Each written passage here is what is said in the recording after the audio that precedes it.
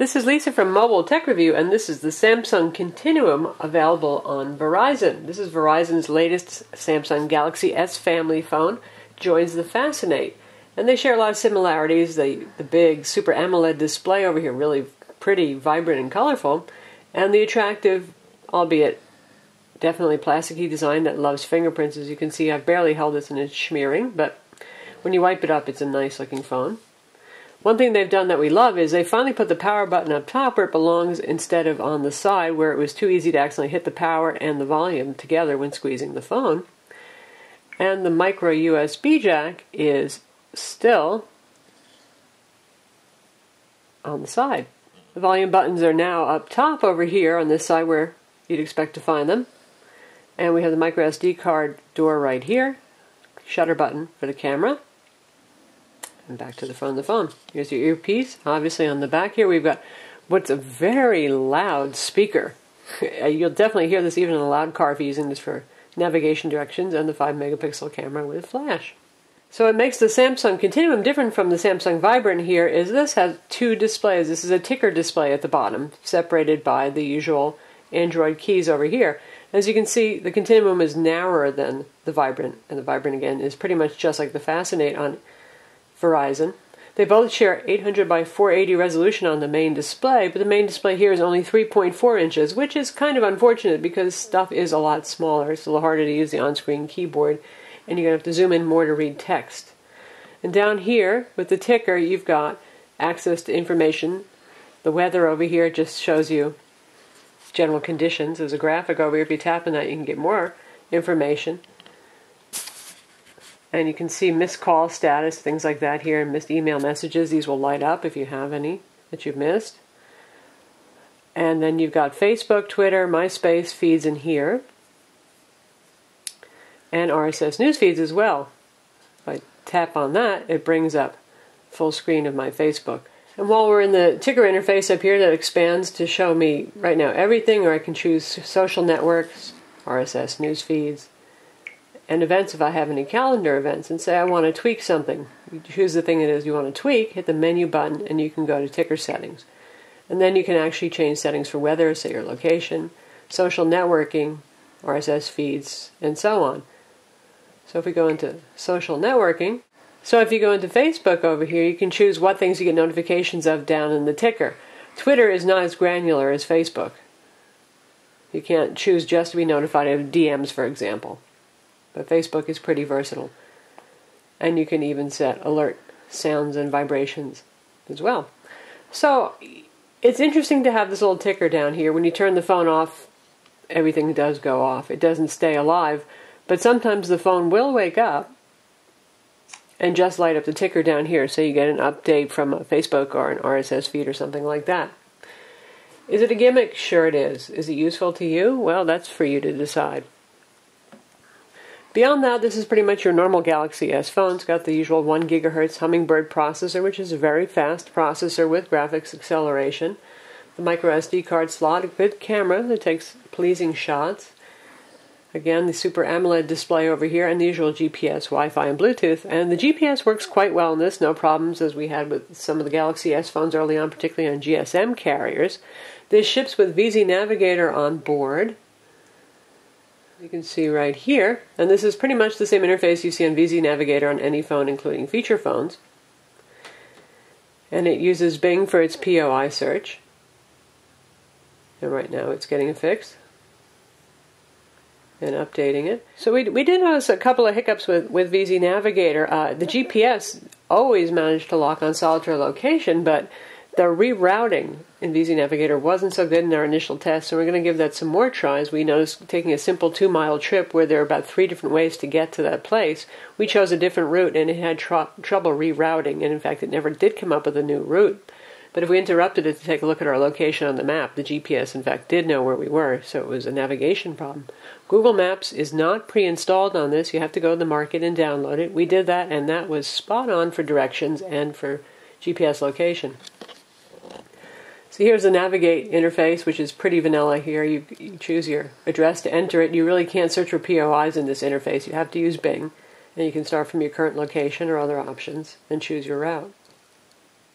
In terms of interface, this runs TouchWiz 3.0 just like the other Galaxy S phones, which means you get the little overlay over here, and for applications you have the the multi-screen sideways scrolling instead of the up and down scrolling. This is running Android 2.1 by the way.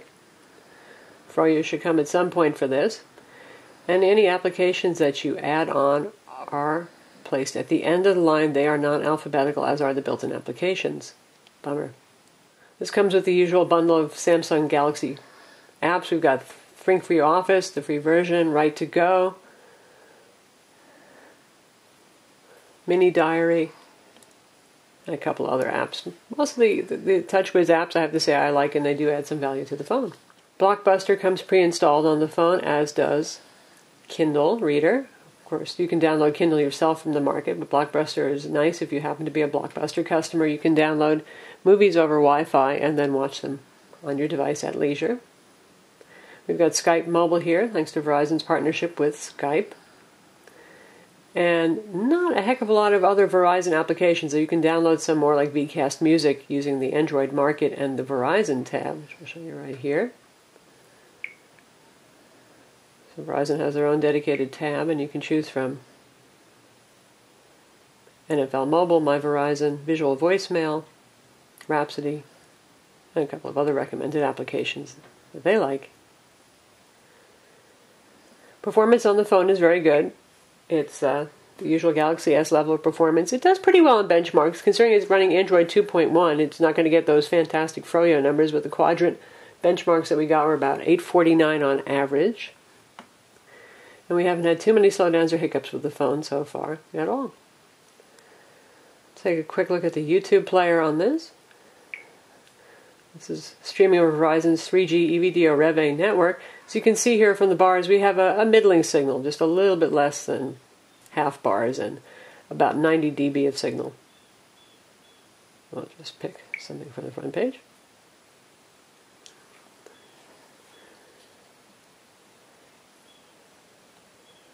And it defaults to low quality mode. Switch to high quality, and you can hear how loud the speaker is, and clear too.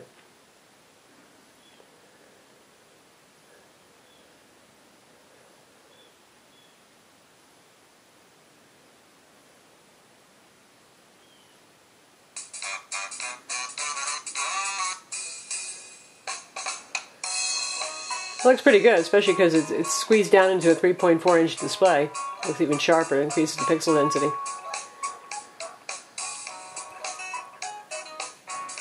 Good speaker quality.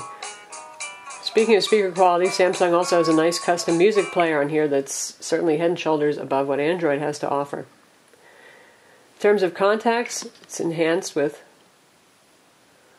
Samsung's custom look, and this integrates with Facebook and MySpace and all that. You can see what the interface looks like here, and you can link the contact up if there's availability. And it's pretty good at finding duplicates if you have somebody in your address book, and then you're also you've also got them in your MySpace contact list, for example. They can link them together and dedupe that way. And you've got history, activities, and media associated with that person as well, which is pretty nice. Call quality on the phone is really very good. We're impressed with the call quality on the phone. Reception is just average nothing fantastic here. If you live in a weak reception area, you may have trouble with the phone, but if you have a good Verizon signal where you live and work, then the phone should work out just fine for you. We'll check out the usual Android web browser over here, which first goes to the Verizon portal.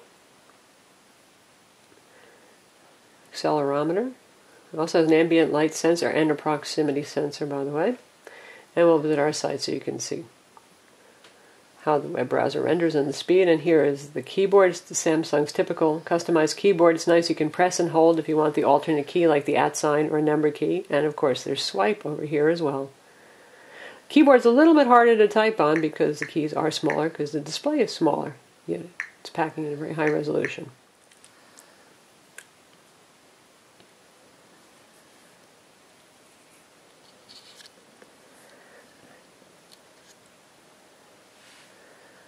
There's our website.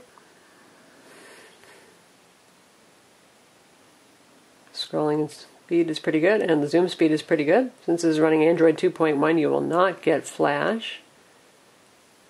But of course, the, the built-in YouTube player can handle playing YouTube videos and some mobilized Flash content in the meantime.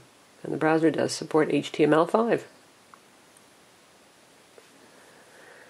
If you press and hold on the home button as with any Android phone, you've got your task manager here and you can switch between your applications quickly. All Camera interface is interesting on this phone, so we're going to show that to you. You've got a whole lot of stuff going on here. This isn't just the basic Android one. You've got all this stuff over here, and you can choose your autofocus, macro mode, face detection mode, for example, scene settings, self timer, effects, white balance, ISO, metering, anti shake, image quality, blink detection for those people who blink whenever the flash is about to hit them. And then you've got more tools here for shutter sounds, review period, and yes, you can turn the shutter off. The phone can shoot 720p video, as well as take pretty decent 5 megapixel shots. So that's the Samsung Continuum, available on Verizon. It's 199 with a contract, and it's available now. Visit Mobile Tech Review to read the full review.